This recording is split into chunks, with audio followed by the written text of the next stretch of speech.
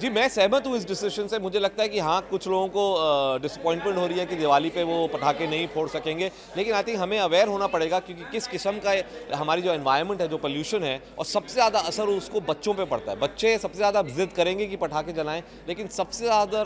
असर उनकी सेहत पर ही पड़ता है तो आए मैं समझता हूँ ये करेक्ट डिसीजन